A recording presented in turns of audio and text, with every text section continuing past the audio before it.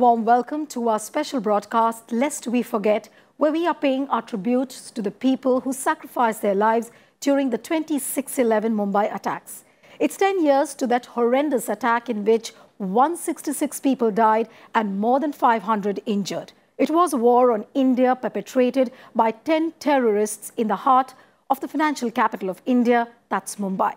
The attack not only shook India's conscience but also exposed our vulnerabilities at the hands of the terrorists. People who were killed during the dastardly attack left trails of bloodshed and mayhem. But for those who've survived, there are stories of pain, anguish, steely resolve, and perhaps for them, life will never be the same again.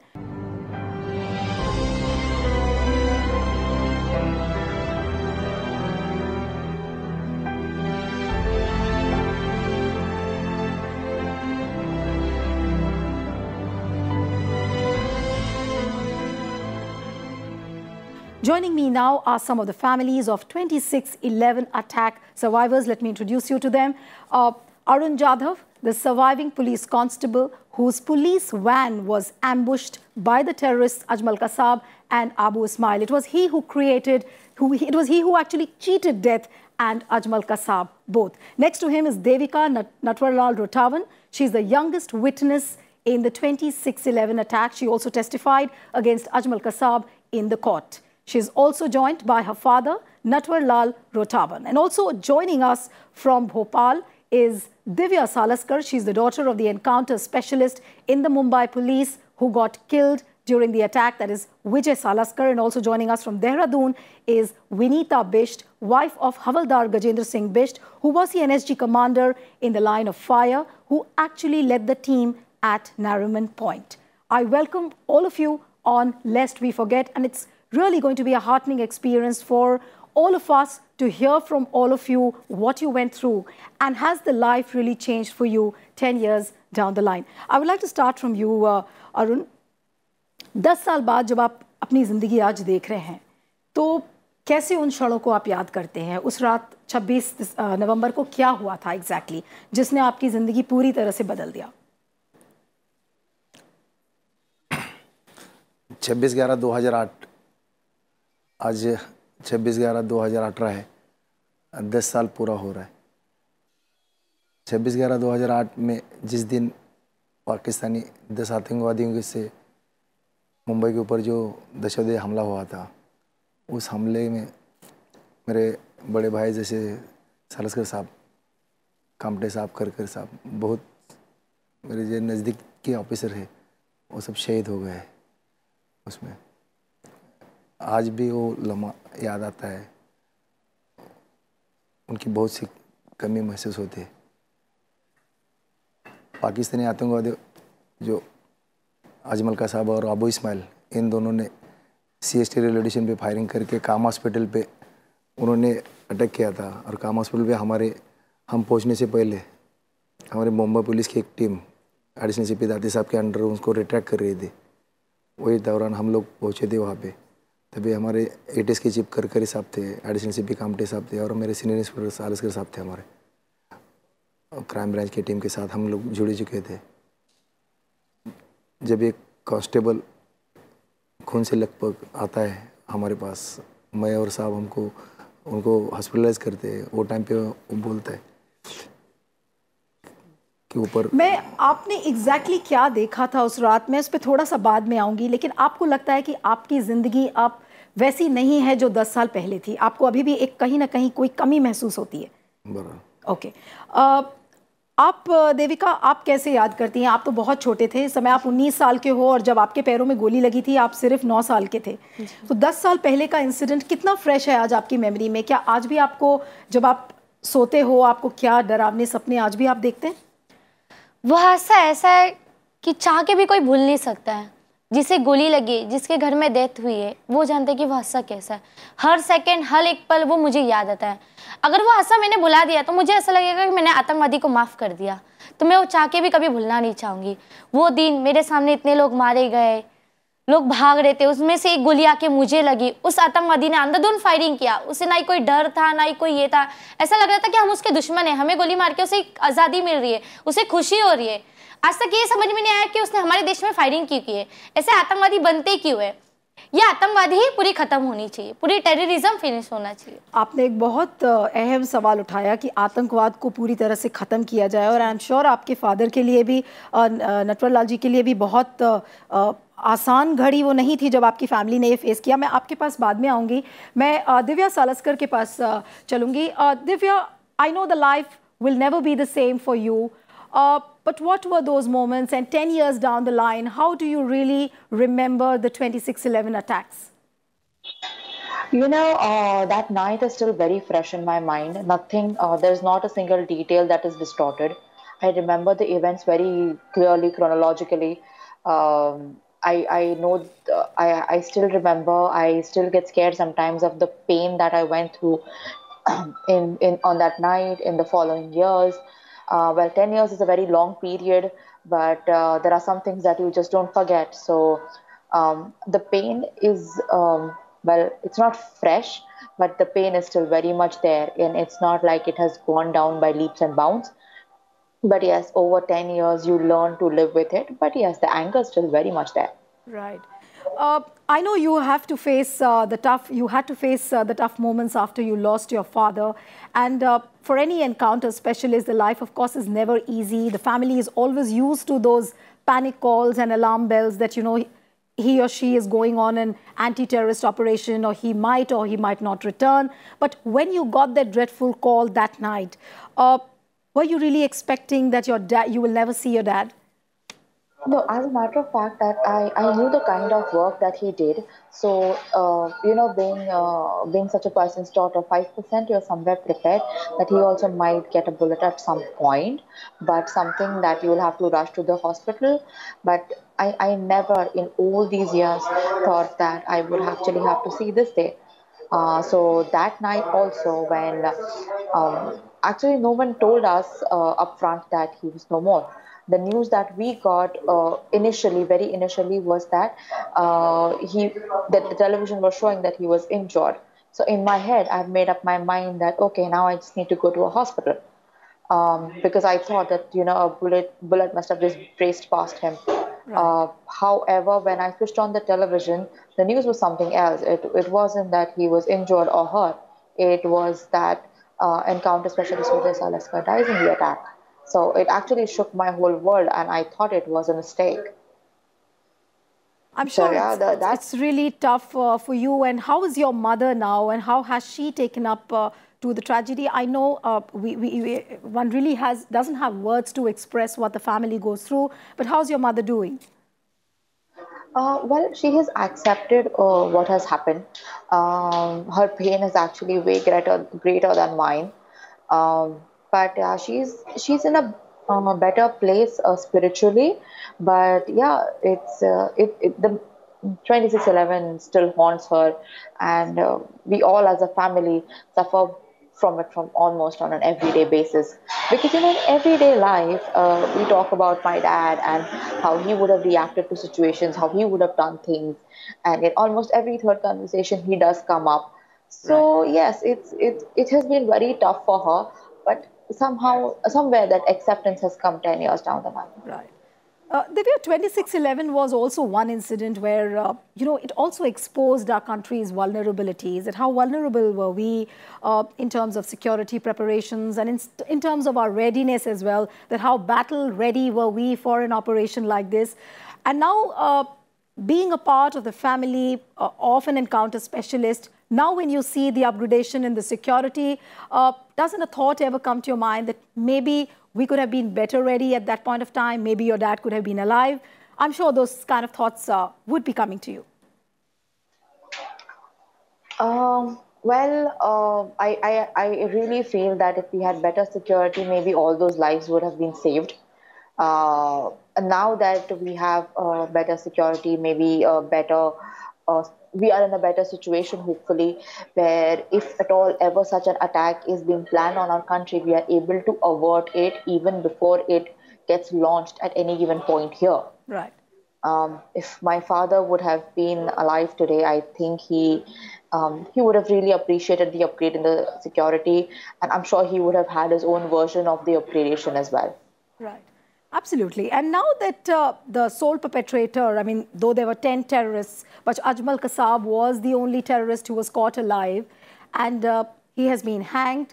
Uh, do you get a sense of closure or you still wanting more? What is your real expectation uh, as far as the counter-terrorist operations in the country are concerned and, you know, the story of end to terrorism in the country is concerned? What are your expectations right now? Okay, uh, first question first. Um, uh, see, Dilu, it's uh, when Ajmal Kasab was hanged. Uh, yes, it, it did bring some amount of closure. I will not deny that. However, when you go back and review the entire scenario, you come to know that um, pawn, that Kasab was just a pawn in the entire game.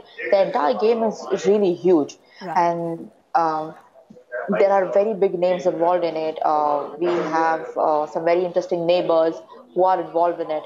So I think that that, uh, that needs to be really taken into consideration. Complete closure will come when you know we are able to actually find a solution to terrorism, which is not very easy to find because terrorism has not just remained something that is you know going into other countries and bombing other countries. Now eventually we're going to have terrorism in the form of digital media and uh, through all the digitization that is happening uh, inter-terrorism my thoughts on inter-terrorism uh, by inter-terrorism you mean the terrorism that is existing within the country already Right. So if you have to... hello? Uh, yes, I can hear you. You go ahead. Yeah, so by inter-terrorism do you mean of the of the uh, terrorism that is good chance that existing already in our country is it Yes.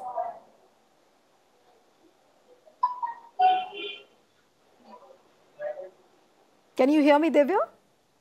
No i cannot hear you Okay, my question is that uh, if you have to ask the government a question after 10 years when you see this entire attack uh, in a hindsight, uh, what would you really have to tell the government?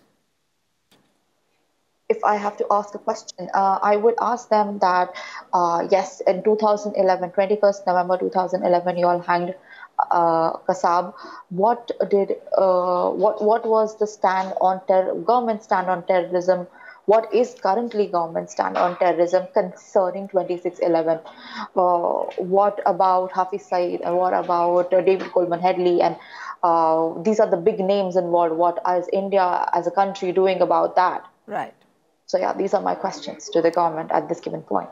Okay, Divya, we'll uh, uh, thank you for joining us here on the program. I believe you are in a hurry. I would have loved uh, uh, you to be there on the program throughout, uh, but uh, unfortunately, so we'll let you go. Thanks again for joining on the program.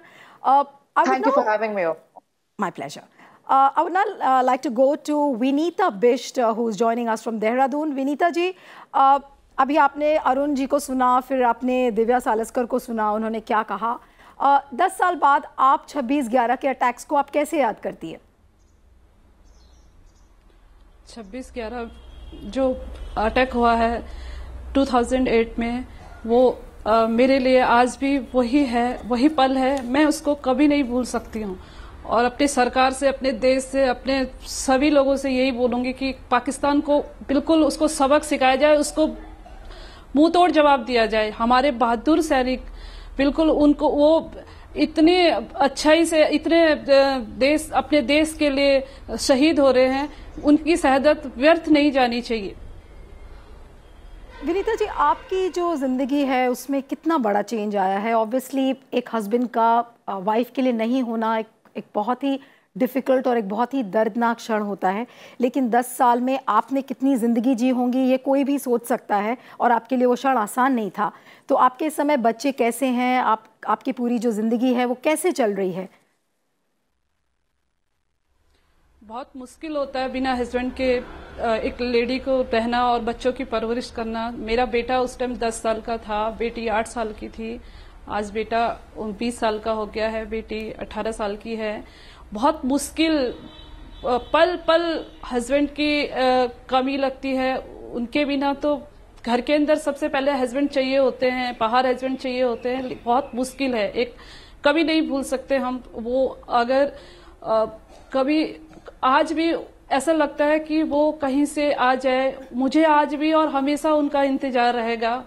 कभी जब हम मैं सोचती हूँ झूठे उस पर गहराई में जाती हूँ दिल के तो ऐसा लगता है कि हस्बैंड नहीं है या है। लेकिन जब मैं हकीकत में आती हूँ तो सिर्फ़ आँखों में आँसू और मायूसी रहती है। अ, जिस तरह से गजेंद्र सिंह बिश ने पूरी टीम को लीड किया था नैरमन पॉइंट में एनएसजी के वो कमांडर थे आप यूज़ टू थी एक टफ लाइफ को, आपको पता था कि आपके जो हस्बैंड है, वो बहुत ही एक टफ लाइफ जी रहे हैं। एनएसजी कमांडोज की जो लाइफ होती है, वो बहुत आसान नहीं होती। लेकिन जिस रात आपने मे बी टेलीविज़न पे वो जब विजुअल्स देखे, जब वो पूरी टीम को नीचे लेके जाया जा रहा था नारिमन पॉइंट में और वो सबसे आगे थे एक कैसी फीलिंग आ रही थी आपके मन में? ऑब्वियसली एक बहुत आसान नहीं होता किसी भी वाइफ के लिए ये चीज़ देखना कि मेरा हस्बैंड बिल्कुल एक टीम को लीड कर रहा है और वो भी एक ऐसी बिल्डिंग के अंदर जहाँ पर आतंकवादी अंदर हैं और वो किसी भी समय गोली चला सकते हैं। ट्वेंटी सिक्स को हमारी जो एनएसजी टीम थी, उसमें से मेरे हस्बैंड भी थे हवलदार गजेंद्र सिंह अशोक चक्रा। वो वो वो भी वहाँ पे बॉम्बे में गए और जब वो 27 को भी उन्होंने ऑपरेशन किया 28 को जब वो नरीमन पॉइंट पे स्लेदरिंग करके, जहाज़ से नीचे जो स्लेदरिंग करके उतर रहे थे, मैं पूरा देख रही थी उनको और मुझे उन मेरे हस्बैंड बहुत बहादुर थे।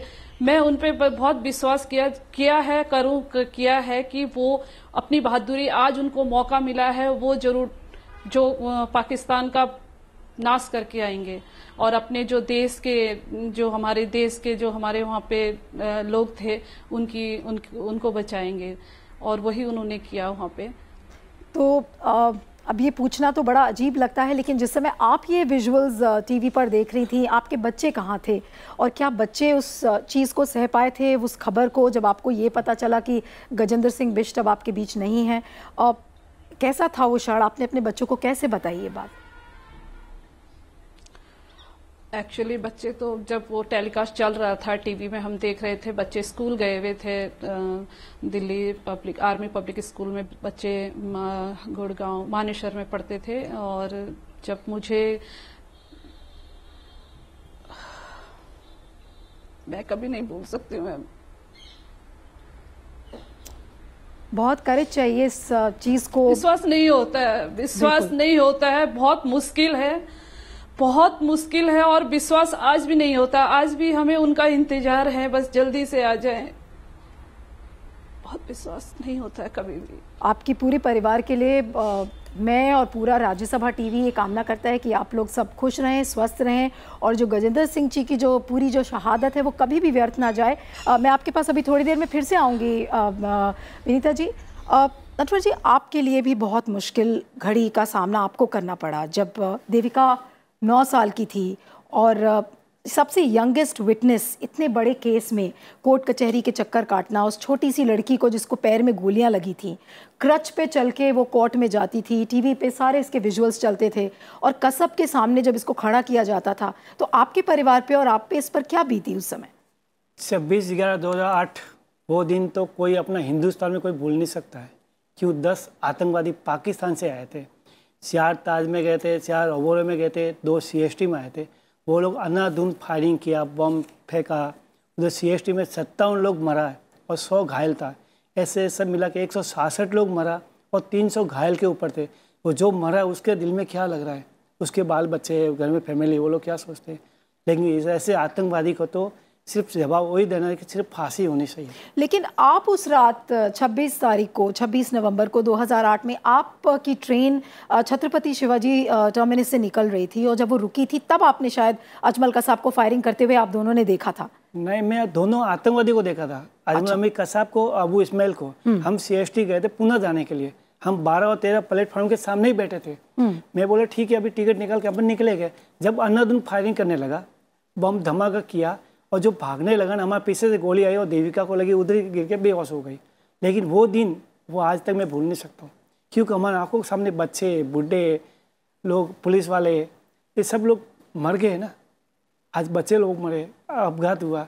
तो ये वो दिन तो कोई भूल नहीं सकता हमारे हिंदुस्तान। नहीं मुंबई नगरी भूल सकता नहीं कोई अपना देश भूल सकता है। और ये जो नन्ही सी लड़की उस समय आप आपने जिस समय अजमल कसाब को अंधाधुंध फायरिंग करते हुए देखा था तो आप, आपको उसका कोई एक्सप्रेशन याद है? वो कैसे गोलियों से गोलियों से लोगों को भून रहा था उस समय?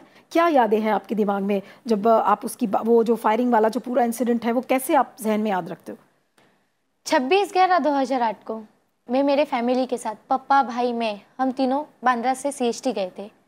बारह नंबर प्लेटफॉर्म के सामने बैठे, उतने में मेरा भाई बोला, मुझे टॉयलेट आया। पापा बोले तो टॉयलेट जाके आ जा हम टिकट निकाल के जाएँगे। जैसे ही वो टॉयलेट को गया, गोली हुई और बॉम्ब स्पॉट हुआ। हम लोग भागने की कोशिश की तो कसाब की गोली आके मेरे राइट पैर में लगी। मैं गिर गई बेहोश हो गई पर मैंने उस बेहोश होने के पहले पैरों में गोली लगी? जी हाँ मेरे पैरों में गोली लगी। पर उसके पहले मैंने उस आतंकवादी को देख लिया था जिसने मुझे गोली मारी और कई लोगों को गोली मारी। वहाँ पब्लिक भाग रहे छोटे मासूम बच्चे मर रहे गिर रहे। कुछ समझ नहीं आ रहा है कि क्या हो रहा है। किसी के हाथ में गोली लग रही है किसी के पैर में कहाँ का गोली लग रही है। और तब मेरी उम्र नौ साल ग्यारह महीने की थी। सिर्फ़ इतना पता है मुझे कि कोई बुटला सरी का आदमी है जो अंधाधुन फायरिंग कर रहा है। उसके हाथ में बड़ी सी बंदूक है। वो हमारी तरफ़, सबकी तरफ़ अंधाधुन फायरिंग कर रहा है, उसके चेहरे पे एक स्माइल है, उसे कोई डर नहीं है कि हमें क्यों गोली मारा है। ऐसा लग रहा है उसे हमें मार के उसे एक खुशी मिल रही है। हम उसके दुश्मन है, इसलिए वो हमें मारना चाहता है। वहाँ से फिर मुझे सेंट जॉर्ज लेके गए। सेंट जॉर्ज में भी मैं देखी, इतने जन मरे थे, घायल थे, देख के मैं डर गई, घबरा गई। वहाँ भी मेरा ऑपरेशन नहीं हुआ। वहाँ से मुझे जेजे हॉस्पिटल लेके गए। जेजे हॉस्पिटल में करीबन मैं डेढ़ महीना एडमिट रही। पेड़ का छह बार ऑपरेशन किया गया। जब डिस्चार्ज दिया गया तो मैं राजस्थान मेरे गाँव गई। सुमीरपुर राजस्थान गई। उसके बाद मुंबई क्राइम ऑफिसर ऑफिसर से मेरे पापा को मेरे काकों को कांटेक्ट किए गए। बोले कि देविका के पिताजी का नंबर मिलेगा। मेरे पापा से बात की। बोले आप कोर्ट में आके बयान देने के लिए तैयार हैं। फिर 10 जून को मैं और मेरे पापा की गवाही हुई थी। पापा ने तो दोनों टेररिस्ट को देखा था। मैंने एक ही आतंकवादी कसाब को देखी थी। तो कोर्ट जब कोर्ट के अंदर जब आपका आमना सामना कसब से हुआ तो कैसी फीलिंग आ रही थी? आपको नहीं लग रहा था कि आप जाके उसको कुछ गुस्से में बोलो या उसको कुछ कर दो? ऐसी फीलिंग नॉर्मली आती है जब आप देखते हो एक ऐसे इंसान को जिसने इतने सारे लोगों को मारा हो? जी फीलिंग तो बहुत बेकार आई थी। अगर मेरे हाथ में बंदूक होता तो मैं उसे गोली मार देती या फांसी दे देते तो मैं मार देती उसे। मैं बैसाखी से चलती थी, मन तो हुआ था बैसाखी फेंक के उसे मार दूँ। मेरे सामने तीन टेररिस्ट रखे गए थे, उसमें से कसाब को मैंने पहचाना था। जो जज सबके साइड में पहले में बैठा था, वो था आतंकवादी कसाब। जिसने मुझे गोली मारी, कई लोगों को मारी। उधर पुलिस ऑफिसर शहीद हुए, इतने लोग मरे गए। तो उस आतंकवादी के ऊपर मुझे सिर्फ़ खुना से, तब से मैंने एक ठान के रखी क्योंकि मैं पढ़ लिख एक आईपीएस ऑफिसर बनना चाहती हूँ। पूरा टेररिज्म में खत्म करना चाहती अभी तक हमें इंसाफ नहीं मिला है। कसाब मर जाने से ये नहीं होता कि हमारी पूरे जख्म भर चुके। जो मास्टरमाइंड पाकिस्तान में बैठा है, उससे जो बड़े बड़े टेररिज्म है, उससे जब खत्म होगा, जब हमें लगेगा कि इंसाफ मिला गया। जब तक हमारे जख्म हरे के हरे ही रहेंगे। मैं नहीं चाहती कि 26 ग्यारह देश हमला, फिर कभी कोई देश में हो। कहीं कोई देवी का बने, कोई अरुण जादव अंकल जी जैसे कोई इतने पुलिस ऑफिसर शहीद हुए अभी मैंने जिनको देखा उनके हस्बैंड शहीद हुए। मैं नहीं चाहती कि किसी का घर कोई ये खराब हो। आज मेरी ये दस साल में इतनी लाइफ में प्रॉब्लम आई है। पैर में आज भी तकलीफ़ होती है।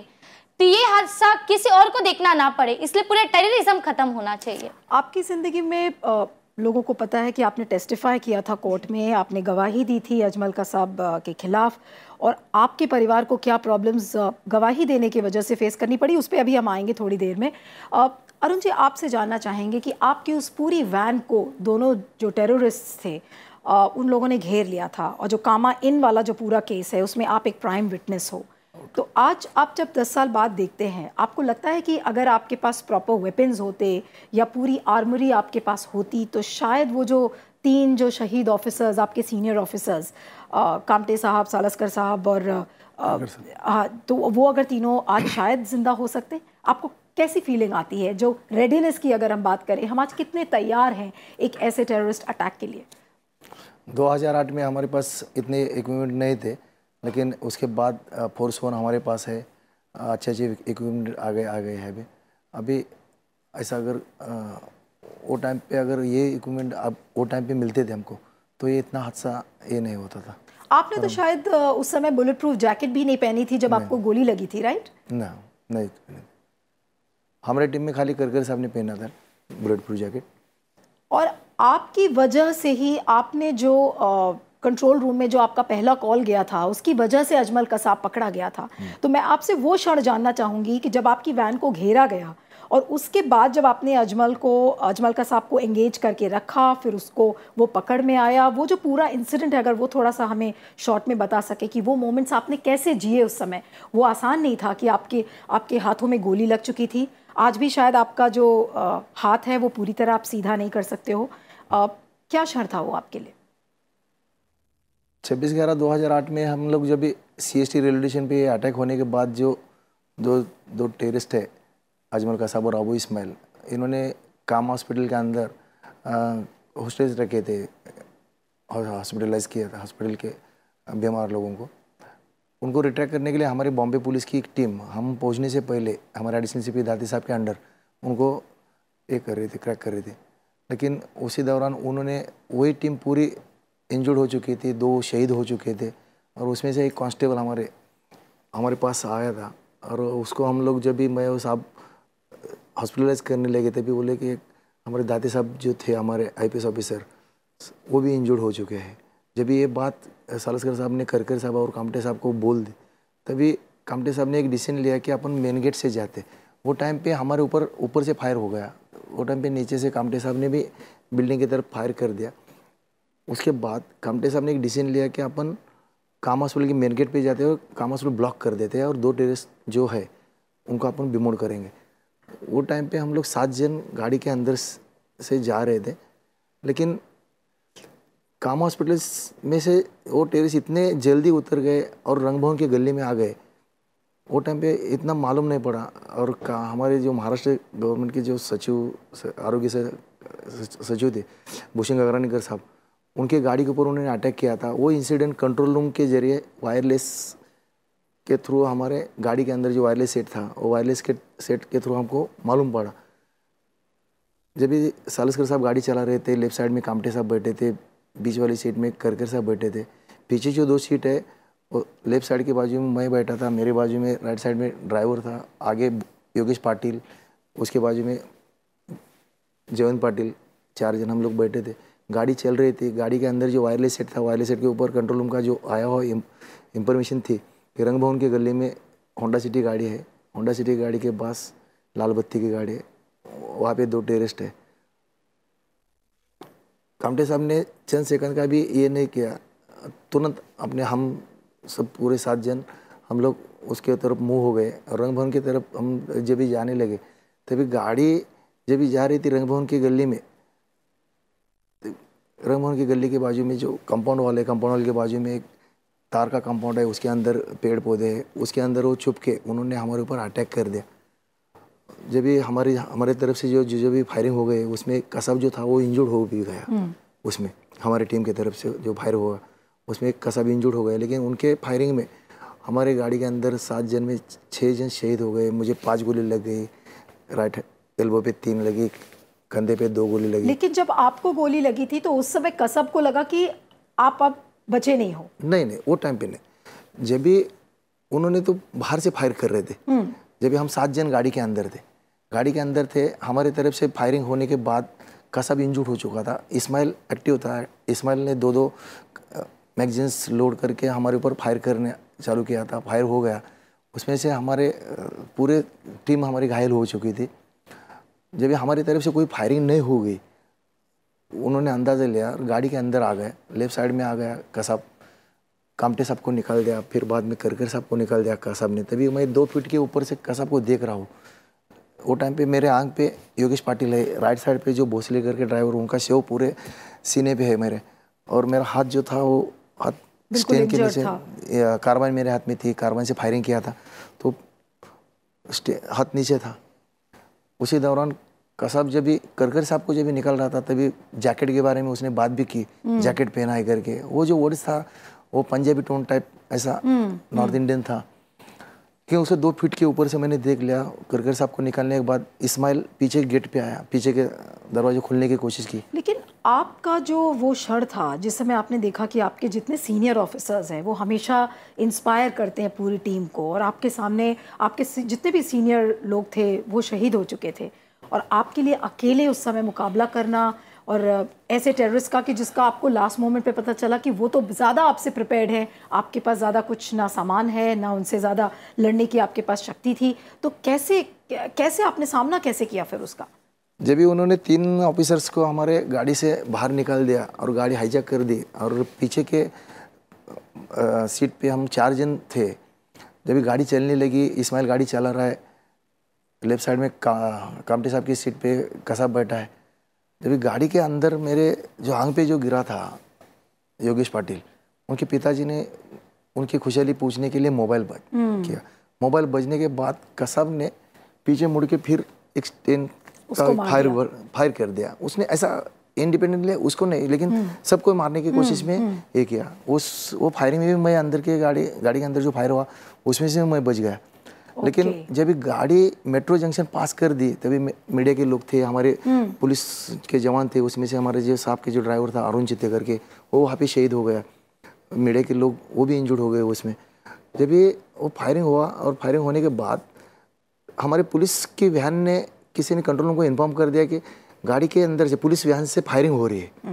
तभी कंट्रोल रूम घड़ी घड़ी इन्फॉर्मेशन दे रही थी वायरलेस के ज़रिए कि पुलिस के वैन के पास कभी कोई जाओ मत।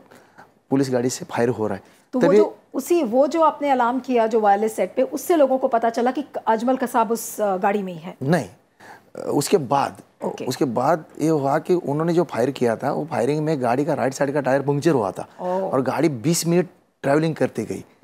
गाड़ी चलने गई फिर विधान भवन के पास जब भी गाड़ी का टायर पूरा ब्रस्ट हो गया और जिसके ऊपर गाड़ी चलने लगी। चलने लगने के बाद गाड़ी चलने लायक नहीं थी तभी गाड़ी उन्होंने दोनों ने छोड़ दी और अपोजिट रोड पे जाए। डिवाइडर क्रॉस करके एक स्कोडा वाइट कलर की स्कोडा आ गई। स्कोडा में से दो जेंट्स एक लेडीज़ उनको उन्होंने गाड़ी से उतार दिया और गाड़ी जब भी बैठ रहे थे तभी गाड़ी के अंदर जो वायरलेस सेट था वायरलेस सेट के ज़रिए मैंने कंट्रोल को इन्फॉर्म कर दिया कि मेरे साथ जो तीन अधिकारी थे ऑफिसर्स थे करगर साहब थे कामटे साहब थे मेरे सीनियर ऑफिसर सारस्कर साहब थे ये लोग इंजर्ड अवस्था में रंग भवन के गली में है हमारी गाड़ी हाईजैक कर दी है। हम चारों जन गाड़ी के अंदर है। अभी गाड़ी हमारी विधान भवन के पास छोड़ी है लेकिन ये जो तो टेर, दो टेररिस्ट है वो स्कोडा गाड़ी लेके मरीन लाइन की तरफ़ जा रहे हैं। वो इन्फॉर्मेशन इतनी महत्वपूर्ण हो गई कि इन्फॉर्मेशन के ऊपर ये दोनों पकड़े गए। दस मिनट के अंदर गिरगांव चौपाटी में जो ऑपरेशन हुआ हाँ। वो ऑपरेशन में कसब जो था वो ज़िंदा पकड़ा गया इस्माइल मारा गया। लेकिन वहाँ पे एक दुर्दैवी घटना हुई कि हमारे उमड़े साहब जो थे वो वहाँ पे शहीद हो गए।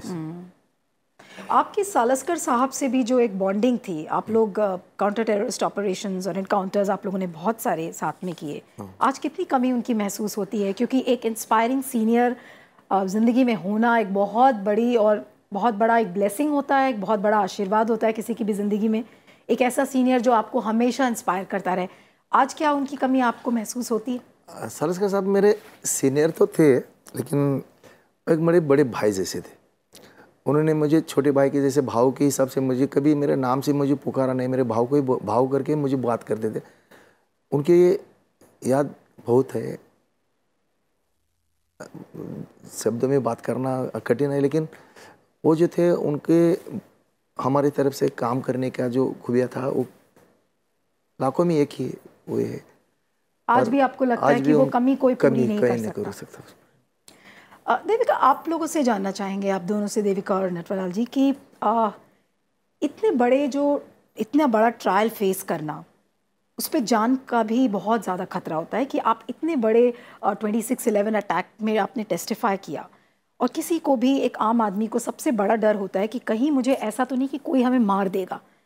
तो आपके परिवार पर उस समय क्या बीत रही थी? आई एम श्योर आपके रिलेटिव्स ने भी आपका साथ नहीं दिया होगा। आपके बहुत सारे परिवार में ऐसे रिश्तेदार होंगे वो कह रहे होंगे कि ज़बरदस्ती आप इस चक्कर में पड़ गए। तो क्या ऐसे ऐसा भी वक्त आपको देखना पड़ा? वो तो देखना पड़ा ना। घर वाले भी सब ना बोले ना। बोले घर में एंट्री नहीं करते थे कि घर पे आना नहीं के आएगा तो पीछे आतंकवादी आ जाएगा। पाकिस्तान नज़दीक है राजस्थान से गाँव से हमारे। कोई जास्ती किलोमीटर लंबा नहीं है। लेकिन वो लोग सबको डरता है। घर में एंट्री नहीं घर में मेरी माँ हुई तो मेरे को बुलाया नहीं। बाद में लेट बुलाया। डर बहुत तकलीफ़ है लेकिन मेरे को प्रॉब्लम एक ही बड़ी है। जो पाकिस्तान में जो आतंकवादी बैठे हैं मास्टरमैन हाफिज सईद है दाऊद है लखवी है जयेश है वो लोगों को कब लाएगा? वो लोगों को फांसी होगा नवजों को सजाएँ मिलेगी तो एक हमको शांति होगा देश में हमारे हिंदुस्तान क्या ये सही बात है कि लोगों ने आपको कसब की बेटी के नाम से भी बुलाया जब आप कोर्ट में जाते थे कि ये तो कसब की बेटी है इससे आप दूर रहो? अ, क्या बोलते थे लोग और किस मंशा से लोग ये बात बोलते थे? क्योंकि किसी भी इतने बड़े केस में टेस्टिफाई करना और वो मैं इनके लिए भी बोलूँगी अरुण यादव जी के लिए भी ये भी एक बहुत बड़े विटनेस है उस केस में अभी भी वो केस चल रहा है। आपके लिए ज़िंदगी आसान नहीं है इस समय? मुझे कई लोगों ने कसाब के नाम से कसाब की बेटी एक कसाब जा रही है कई बार बोला? बट मैंने उस सब बात को इग्नोर किया, क्योंकि मैं जानती हूँ कि मैं एक टेररिस्ट के खिलाफ खड़ी हूँ। और मुझे उसके खिलाफ खड़े होने में कोई तकलीफ़ नहीं है। मुझे एक अच्छा लगता है कि मैंने एक टेररिस्ट को फांसी तक पहुँचा रही हूँ। और ऐसे टेररिज्म खत्म करने के लिए मैं ऑफिसर बनना चाहती हूँ। मुझे इस बात का कोई परवाह नहीं है कि मेरे बारे में लोग क्या सोचते हैं, मुझे कसाब बुलाते हैं, क्यों बुलाते हैं। पर मैं अपने देश के लिए करना चाहती हूँ और मैं हमेशा करना चाहूँगी और करते रहूँगी।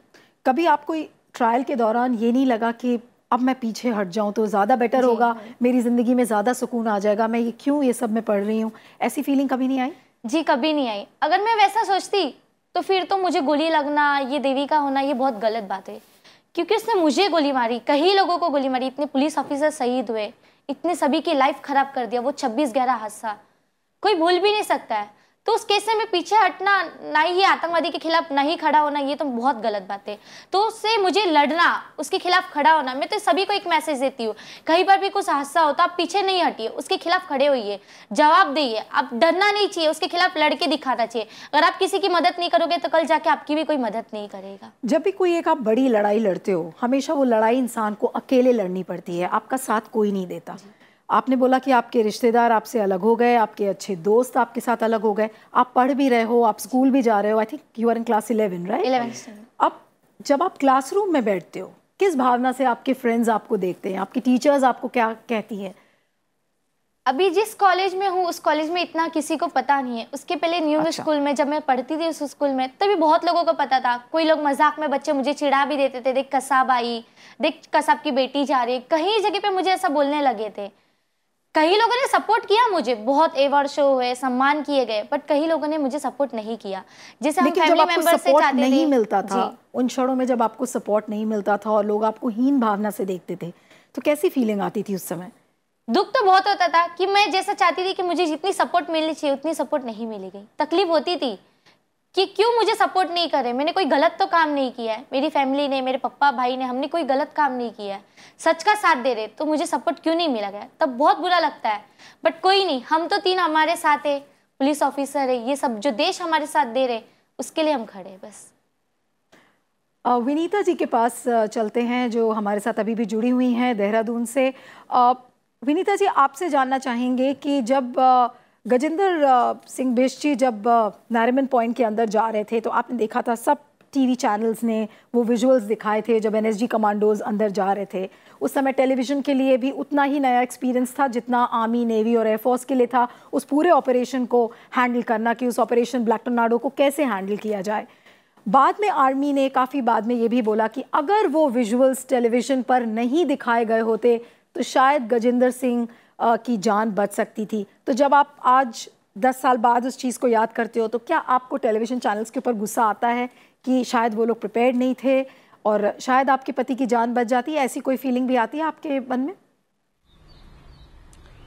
नहीं, मुझे बहुत गर्व है अपने पति पे कि उन्होंने देश के लिए, अपने देश के लिए अपने प्राणों का बलिदान दिया है और जो मीडिया का काम था, मीडिया ने अपना काम किया है और एक और हम तक जानकारी मीडिया देती रही। हम भी अपने पति अपने हस्बैंड का मैं भी अपने हस्बैंड का काम देख रही थी अ, कि वो कितने बहादुर हैं वो सारा देश देख रहा था। और मुझे बहुत गर्व है अपने देश पे भी अपनी मीडिया पे भी और अपने हस्बैंड पे भी कि उन्होंने बहुत बहादुरी से अपना काम किया। आज आपके बच्चे जो पहले बहुत छोटे थे जब यह हादसा हुआ था आज वो बड़े हो गए आपने खुद भी बताया। अब उनके मन में कैसी यादें हैं और वो क्या करना चाह रहे हैं? अपने पिताजी को वो कैसे याद करते हैं? पापा को पल पल याद करते हैं। हर वक्त अपने पापा की कमी उनको महसूस होती है। बड़े से, छोटे से बड़ा होना, फिर बड़ा होना, फिर बड़ा होना, हर वक्त पापा साथ होना और जब से उनका जन्म हुआ, वो पापा के साथ रहे हैं और जब 2008 में छब्बीस, ग्यारह हुआ तो फिर तब से वो हर पल उनको अपने पापा की याद आती है, बहुत कमी महसूस होती है, इसकी भरपाई और ये तो शब्दों में नहीं आका जाता है।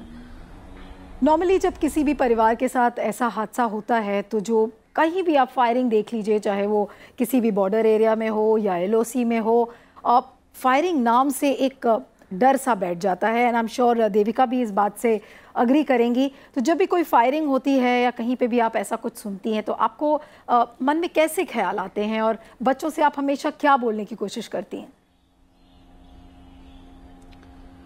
मेरी बेटी और बेटा बेटी मेरी आर्मी में जाने की अभी बीबीए कर रही है एनसीसी उसके पास है वो आर्मी में जाने की तैयारी कर रही है बेटा पढ़ाई कर रहा है अभी और अच्छा। बेटी को मैं आर्मी में ज़रूर भेजूँगी। और अपने देश के लिए, अपने देश के लिए, अपने जो मेरे हस्बैंड की जो मेरे हस्बैंड शहीद हुए, उनकी शहादत व्यर्थ नहीं जाएगी और ना ही जाएगी कभी भी। और बेटी मेरी बड़ी होके अपने देश के लिए, अपने देश के लिए काम करेगी और एक आर्मी अफसर बन के निखरेगी, दिखेगी देश में। आपको इस समय सरकार से पुलिस से और एनएसजी से भी अ, कितनी सहायता मिलती है? आपको कहीं ना कहीं अ, किसी चीज़ का अभाव या किसी चीज़ की कमी अ, कभी महसूस तो नहीं होती? आपको क्या कहना है सरकार से? सरकार से तो सरकार तो अपना काम जो कर रही है कर ही रही है बहुत अच्छे से कर रही है और बाकी मेरे हस्बैंड है मेरे हस्बैंड की कमी मेरा घर संसार सब कुछ मेरे हस्बैंड है उनकी कमी और उनको तो कभी भी ना भूला जाता है ना भूल सकती हूँ और पल पल उनकी कमी उनकी याद मेरे साथ है वो हमारे साथ हैं और हमेशा रहेंगे। और जो एनएसजी है मेरा घर है जो मेरी यूनिट है टेन पैरा है टेन पैरा मेरी यूनिट है पुरानी और एनएसजी में हम पोस्टिंग गए थे वो बराबर एक हम मेरे घर की तरह मुझे बराबर देखती है, सपोर्ट करती है, जो हमारी पुलिस टीम है, वो देखती रहती है। जब भी कोई अलर्ट लगता है तो ज़रूर मेरे से इन्फॉर्मेशन या पूछती ज़रूर है, घर, परिवार, बच्चे, सबके लिए पूछते हैं। आपने नहीं सोचा कि आपके बच्चे भी एनएसजी में जाएँ एनएसजी के कमांडोज बने? कभी आपने उनको ऐसे प्रेरित नहीं किया? आप बोल रही थी कि आर्मी में जाएँगे आपके बच्चे बट कभी भी ये नहीं हुआ क्योंकि आपके हस्बैंड एनएसजी के कमांडो थे तो आपने नहीं सोचा कि बच्चों को भी एनएसजी का ही कमांडो बनाया जाए? बिल्कुल, मेरे husband ten para commando special force Indian army की सबसे स्पेशल फोर्स है। और वहीं से मेरे हस्बैंड पोस्टिंग गए थे एनएसजी में सेकंड टाइम फ़र्स्ट टाइम 2097 में गए थे और अभी 2007 में गए थे मेरे हस्बैंड पोस्टिंग वही मेरी बेटी भी यूनिट में जाने के बाद एनएसजी कमांडो बनेगी। ओके चलिए, बहुत अच्छी बात है ये तो। अभी आपके पास वापस आएँगे फाइनल कमेंट्स के लिए। अरुण, आपसे जानना चाहेंगे कि बहुत सारी जो कमियाँ उस समय लोगों ने बताई, ऐसा क्योंकि पहले कभी ऐसा ऑपरेशन नहीं हुआ था। और अब जब 10 साल बाद आप याद करते हैं और जिस तरह से पुलिस में, जिस तरह से एनएसजी में और बाकी जो कोस्टल सिक्योरिटी को लेकर जितना अपग्रेडेशन हुआ है वेपनरी को लेकर जो अपग्रेडेशन हुआ है तो आप क्या आज इस संतुष्टता से कह सकते हैं कि हमारा देश एटलीस्ट जो काउंटर टेररिस्ट ऑपरेशंस हैं उसका जहाँ तक सवाल है we are on the right track इस समय? क्योंकि आपने तो पर्सनल आप भुगत भोग ही रहे हैं उस, उन क्षणों के, उन मोमेंट्स के तो आपको लगता है कि आप आज ज़्यादा बेटर प्रिपेयर्ड हैं? दस साल पहला ज़रा थोड़ा सा कम था, लेकिन आज आप हम प्रिपेयर है। क्योंकि बॉम्बे पुलिस के पास एन है एन की तौर जैसे फोर्सोन है हमारे पास अच्छे अच्छे इक्विपमेंट आए हैं। इसके लिए हम लोग कभी भी अगर ऐसा होना नहीं चाहिए, लेकिन अगर होता है तो हम लोग पूरी तैयारी से।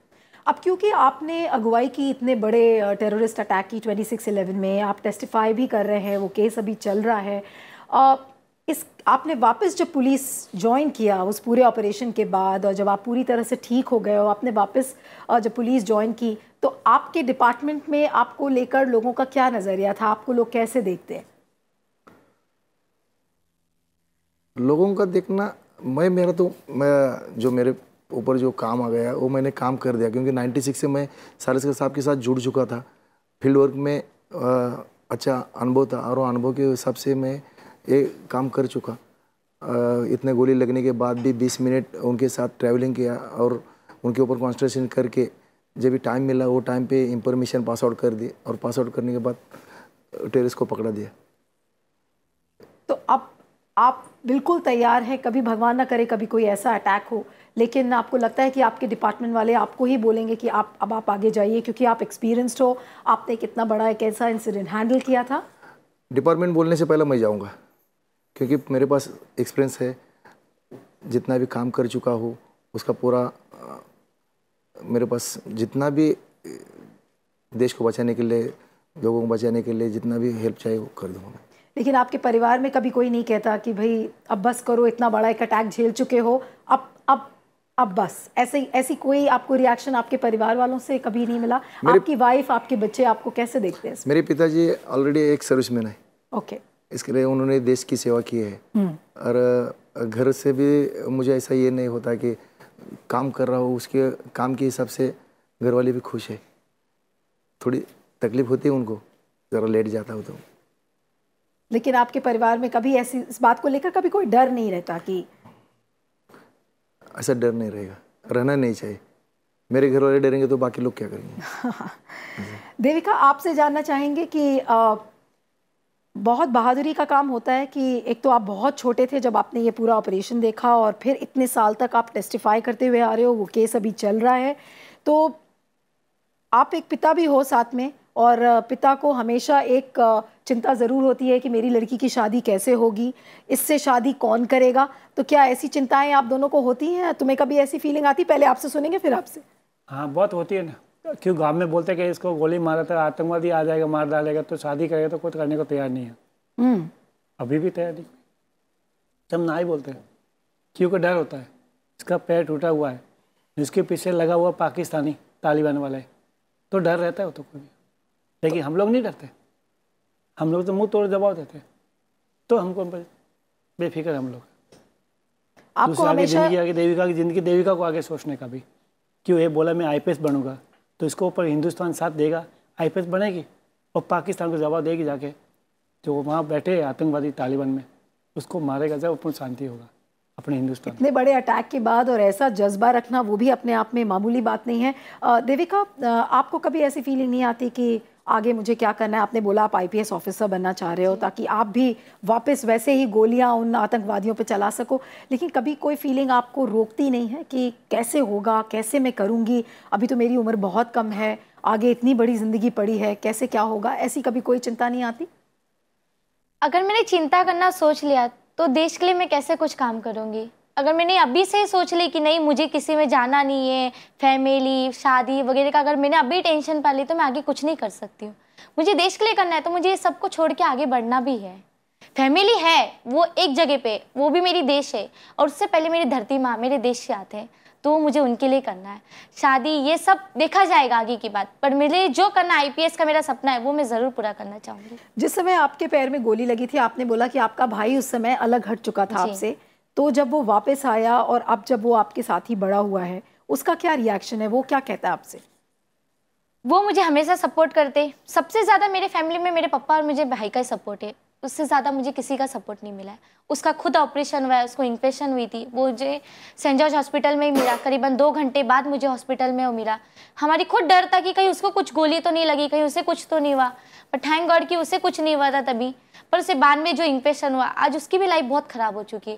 छब्बीस ग्यारह के बाद वैसे हम तीनों में बहुत तकलीफें आई है बहुत देखे। उसको क्या तकलीफ़ हुई? आपके आपकी वजह से जो आपके साथ हुआ उसकी वजह से? जी उसकी वजह से जब मैं जेजे हॉस्पिटल में एडमिट थी तो हमारे साथ रहते थे तो डॉक्टर ने बोला कि बहन का मलम पट्टी करो मेरा डेली ड्रेसिंग नहीं होता था। तो मेरी डेली मलम पट्टी किया तो लोगों ने बोला ये अपनी सिस्टर का करता है हमारा भी करने बोलो। तो जयेश ने मेरे भाई ने दूसरे का भी मलम पट्टी किया तो जैसे मुँह पे बांधते हाथ में ग्लोव्स पहनते तो उसने नहीं पहना था। एक दो बार बिना हाथ धोए ठीक से ध्यान नहीं रखा तो उसको इन्फेक्शन हो गया। दवा का उसको इन्फेक्शन हो गया गले में गांठ हो गई थी उसकी इलाज हमने ठीक करवाया तो पीठ की रीढ़ की हड्डी उसकी बाहर आ गई थी। उसके आज शरीर देखा जाएगा तो, तो बहुत झुका हुआ है। ट्वेंटी फोर ईयर्स का है पर लगता नहीं है कि वो ट्वेंटी फोर ईयर्स का है। मुझसे बड़े भाई पर बहुत समझ है वो भी मुझे सपोर्ट करते बोलते कि तू एक आईपीएस ऑफिसर बन अपने देश के लिए लड़। मुझे सीख ये सब मेरे भाई और मेरे पापा से मिली है। मेरी मॉम नहीं है मॉम 2006 में ऑफ़ हुई है। उनके बाद से मुझे संभालने वाले से मेरे पापा और भाई है। और कोई नहीं है। नटवरलाल जी, आप, आपका क्या कहना होगा इस अब पूरे वाक्य को जब आप याद करते हो और दस साल बाद हमेशा होता है कि कोई भी दिन चाहे वो टीवी चैनल्स हों, चाहे कोई भी हो, वो हमेशा जो, वो दिन होता है, उसको, उस दिन तो हमेशा याद किया जाता है। लेकिन साल भर जो पूरे इतने सालों तक जिसको झेलना होता है, वो परिवार वाले होते हैं और वो परिवार होता है। तो कैसे देखते हैं ये पूरे दस साल आप? मेरे को कहने का मतलब एक ही है जो मास्टर में बैठा है पाकिस्तान में उसको ख़त्म कर दो हमको शांति होता है। सब वहाँ देश शांत हो जाएगा खुश हो जाएगा। नहीं तो हम लोग दुखी है। तो आपको लगता है कि आपको न्याय आज न्याय भी नहीं, नहीं मिला है? खाली कसाब को मारा फांसी दिया वो चलो ठीक है वो एक आतंकवादी छोटा था वो मर गया। हम्म। लेकिन जो मास्टर में बैठा है उसका क्या करने का? वो जब खत्म होगा ना तो हमारा हिंदुस्तान सुखी रहेगा। जब अमेरिका वाला ओसामा बिलादिन को मार दिया तो अपना हिंदुस्तान क्यों नहीं करता? लेकिन आपने क्या सरकार को कोई चिट्ठी लिखी अपनी तरफ़ से? जैसे देविका की चिट्ठी बहुत इम्पैक्टफुल हो सकती थी। आपने कभी सोचा कि आप प्रधानमंत्री को कुछ लिखिए या चिट्ठी लिखिए अपने मन की व्यथा उनको बोलिए? कभी आपने ऐसा कुछ कहा? जी मैंने किया था। ट्विटर पे मैंने ट्वीट किया सीएम सर और पीएम सर को दोनों को मैंने ट्वीट किया था। मेरी फाइनेंशियल तकलीफ़ थी। जब उसके बाद मुझे दिल्ली से कोई कांटेक्ट आए बोले कि आप लेटर लिखिए। जब मैंने लेटर लिखा सीएम सर की इधर मैंने डेढ़ साल भागदौड़ की। उसके बीच में मुझे बीमारी हो चुकी थी एकदम लास्ट स्टेट पे पहुँची थी उस बीमारी के मैंने। जब जाके मुझे सीएम सर से मदद मिली गई सरकार में मुझे सीएम सर ने सपोर्ट किया गया तभी वही मदद मेरी सारी पूरी बीमारी में लगा हम रेंट के रूम पे रहते वहाँ पर जहाँ रहते वहाँ पे तकलीफ़ आती है। बट आज तक मेरी एक इच्छा बाकी है कि मोदी सर से मुझे मिलना है वो अभी तक पूरी नहीं हुई है। उसके लिए मैंने बहुत कोशिश की है और जल्दी से जल्दी मैं मिलना ही चाहती हूँ मोदी सर से। अरुण जी आप आपको क्या कहना है अ, सरकार से और जो ओवरऑल जो जो इस समय पुलिस प्रिपरेशंस हैं, एक बहुत कठिन दौर से आप गुजरे हैं और अब आगे आपकी बहुत बड़ी ज़िंदगी पड़ी हुई है, क्या कहना चाहेंगे सरकार से आप इस मौके पर? सरकार तो अपनी काम कर रही है जितना हो सके टेरिस के ऊपर अगेंस्ट जो भी जितना कार्रवाई करना है वो कर रहे हैं अपने हिसाब से। रही बात पुलिस की इसमें तो कभी सामने वाला अगर कितना भी बड़ा हो जाए टेररिस्ट तो उसको कम नहीं समझना और उसको मार देना ही है। ये बहुत बड़ा सबक आपने दिया कि अपने सामने वाले दुश्मन को कभी भी कमज़ोर ना कोई आके। और ये एक बहुत बड़ी सीख है। विनीता जी आपके पास आएँगे। आप इस समय क्या कहना चाहेंगी लोगों से? अ, दस आपने एक बहुत कठिन क्षण आपके और आपके परिवार वालों ने देखा है और शायद ये चीज़ शब्दों में कोई बयान नहीं कर सकता कि आपके परिवार ने क्या झेला। लेकिन आज जब 10 साल बाद अगर आपको सरकार से कुछ कहना हो तो आप क्या कहेंगी और लोगों को अपनी ज़िंदगी से क्या सीख देना चाहेंगी? सरकार से मैं यही कहूँगी कि सरकार जो हमारी बहुत अच्छा काम कर रही है, हमारे सैनिक, बहादुर सैनिकों के लिए और अच्छा उनके लिए हथियार और और अच्छा उनके लिए बुलेट जॉकेट और ज़्यादा से ज़्यादा और अच्छे से अच्छी मात्रा में उनको प्रदान करे, जो कि हमारी सरकार हमारे मोदी जी लगे हुए हैं, कर रहे हैं, उनका बहुत, जब से हमारे मोदी जी आए हैं, बहुत अच्छा काम और हम बहुत अच्छा देख रहे हैं अपनी आर्मी के अंदर और अपने देश के अंदर। और बच्चों के अंदर बहुत अच्छा क्रेज है आर्मी में जाने का और काफ़ी सपोर्ट हमारे मोदी जी कर रहे हैं पूरे देश के लिए। और जो हमसे बनेगा जो मुझसे बनेगा मैं भी अपने देश के लिए अपने देश के लिए जितना मेरे से होगा मैं भी करूँगी और अपने बच्चों को दोनों बच्चों के लिए दोनों बच्चों को आर्मी में भेजना चाहूँगी। जाएँगे दोनों बच्चे आर्मी के लिए। और आपकी जो ज़िंदगी कमी है जो मेरे साथ हुआ मैं मैं ये कह रही हूँ विनीता जी कि आपकी जो ज़िंदगी में जो कमी आई आपके पति के नहीं रहने से शायद उन पलों की उन मोमेंट्स की भरपाई शायद कोई नहीं कर पाएगा लेकिन जो आपका जज्बा है और लोगों को आर्मी में भेजने का है आपने अपनी बच्चों की जिस तरह से परवरिश की वो एक काबिल तारीफ़ है और उसको शायद सब सलाम करेंगे। आप सभी हमारे साथ इस प्रोग्राम में जुड़े आपका बहुत बहुत शुक्रिया। अरुण जी देविका और नटवर लाल जी विनीता जी आपका भी बहुत बहुत शुक्रिया और आपको ऑल द बेस्ट कहना चाहूँगी। But remember one can not help but control the tears listening to these poignant stories of courage, sacrifice, and pain. And it's definitely uh, the tough moments for the families who have endured so much in the last 10 years. All we can say is a big salute and a bow of gratitude from each one of us at RS TV. Thanks and goodbye.